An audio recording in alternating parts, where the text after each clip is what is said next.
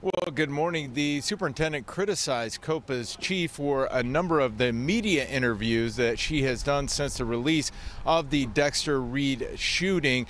Uh, that, of course, was released last week. She says that she was doing it all in the name of transparency. This criticism demonstrates a fundamental lack of understanding of COPA's role and process and smacks of hypocrisy.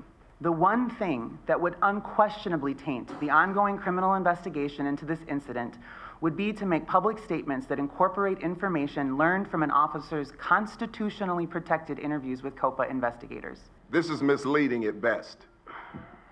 Misleading. When we talk about an officer being interviewed, when you make statements and you put them out in the public, you're framing the mind of the people before the video is even released. We will continue to make sure that this is investigated properly. You will not find me on the Stephen A. Smith show. That last bit was a swipe at Copa's chief, Andrea Kersten, for doing an interview with the ESPN host.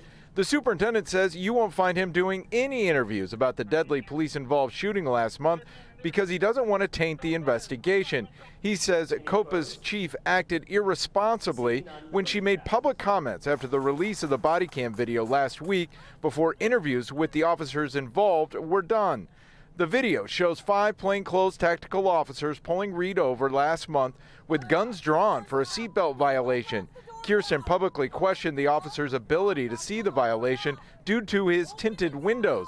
Not long after the initial stop, Copa says Reed fired at an officer, hitting him in the arm, which led to an exchange of gunfire. Copa says four officers fired a total of 96 rounds at Reed and continued shooting while he was on the ground. Copa's chief said she didn't believe any of the officers had contact with Reed before last month.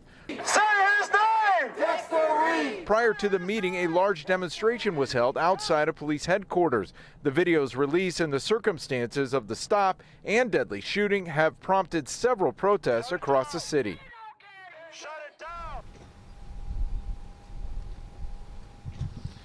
Now, one thing that protesters, the superintendent, as well as COPA's chief agree on is that they all want transparency in this case, but at least the superintendent and COPA's chief uh, disagree on how that transparency should be handled. We are live at CPD headquarters. I'm Erik Runge, WGN News.